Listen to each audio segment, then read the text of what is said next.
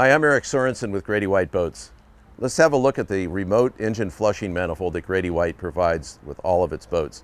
It makes things a lot easier for you when it comes time to flush the engines because the manifold that you hook up to with a hose is actually inside the cockpit and you don't have to reach out to the lower unit of the engine. For best results when you're flushing the engines, if the boat's in the water, tilt them all the way up, and if it's not in the water, leave them down. While you're cleaning the boat up and while the engines are still warm, that's the absolute best time to start the process. You just hook up a hose to this little fitting right here, screw it on. Okay, so now we've got the fitting on here so you can turn the hose on.